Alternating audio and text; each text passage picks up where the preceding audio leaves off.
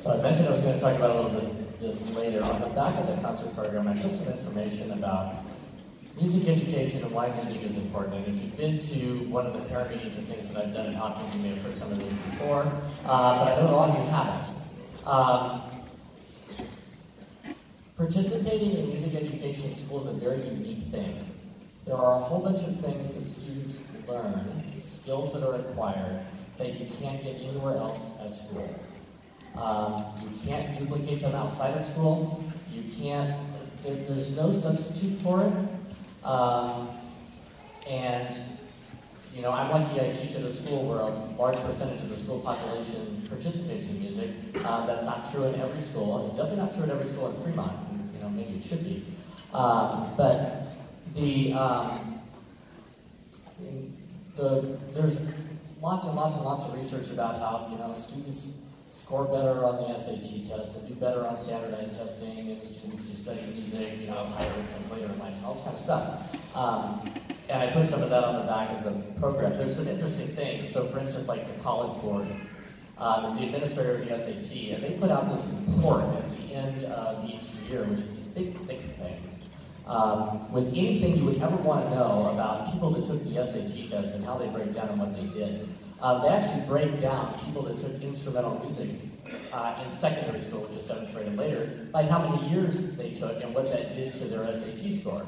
So people that took um, you know, zero years got whatever the average score was. This is you know nationwide. And then they say, well, what's the difference between that and you know less than one year, which is like I don't know, negligible. And then what if you took two years? Well, then it goes up a little bit. It's about you know 15 or 20. By the time you get to the four years or higher, it's up to you know a number of like 123, I think, for the most recent one. Um, that's a big jump, and that's nationwide.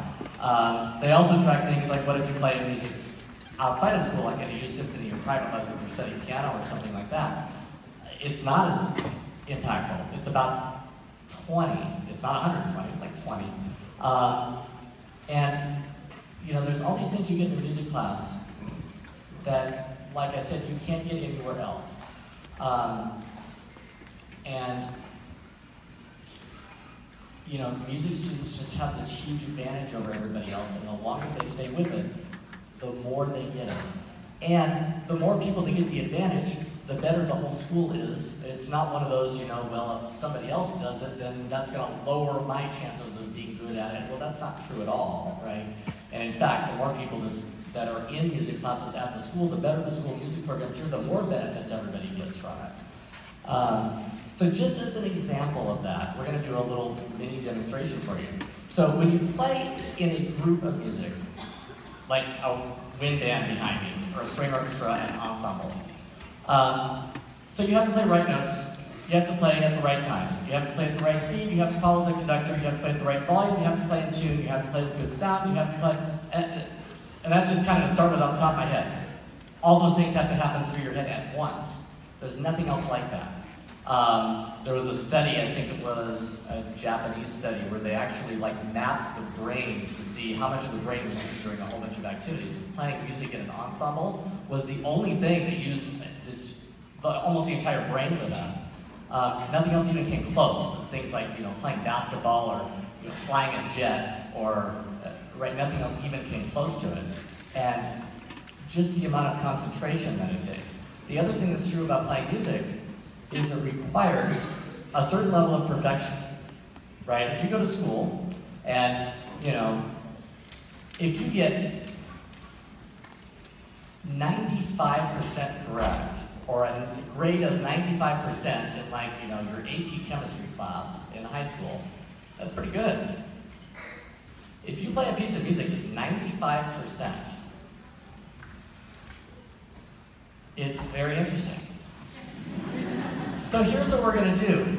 We're going to take a very, very small chunk of the next piece, Sanctuary by Frank Ticheli, and um, it's a very small chunk. We're going to play it correctly for you.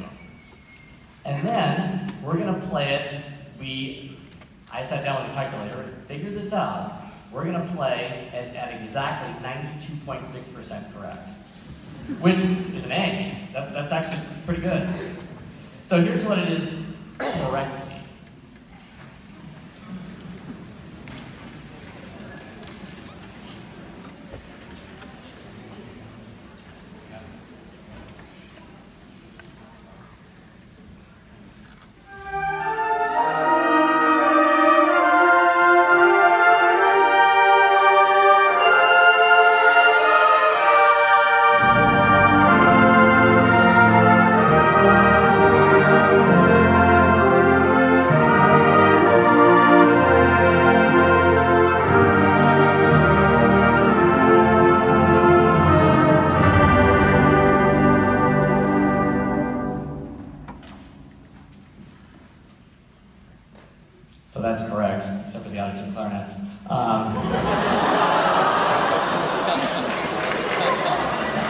Uh, so this is 92.6% correct.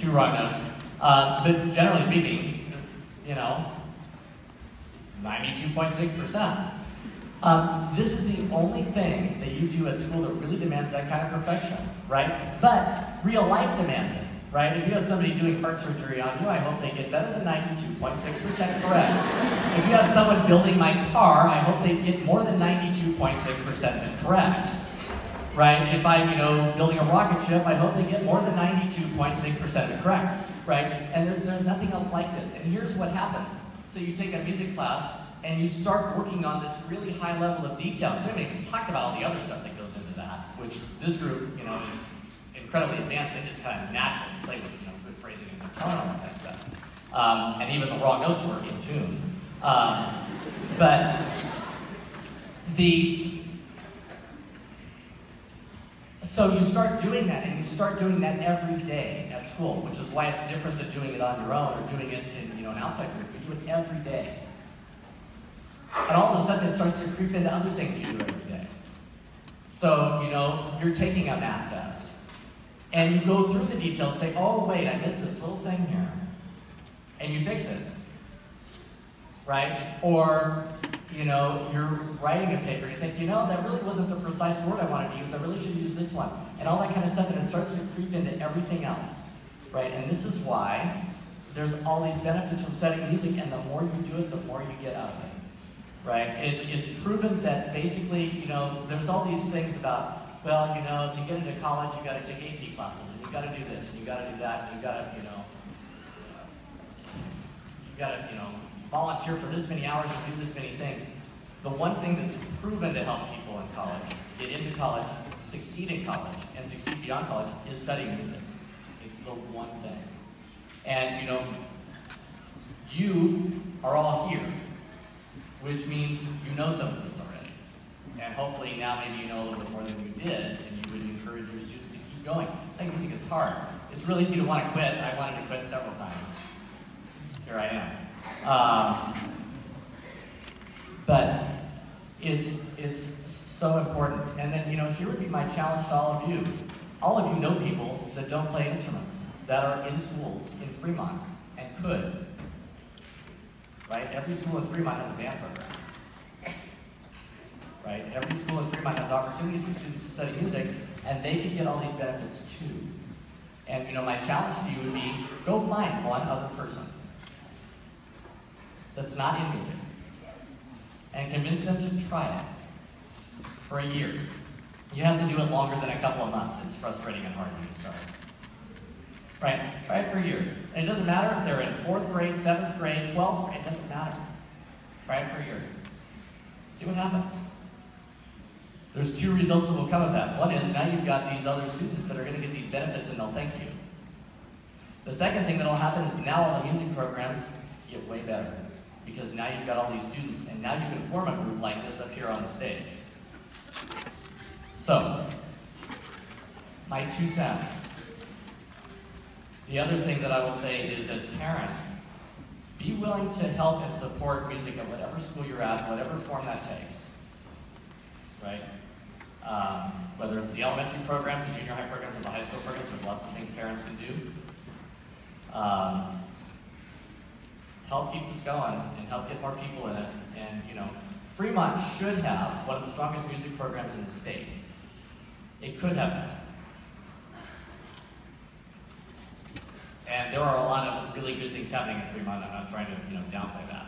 So that's my challenge to all of you.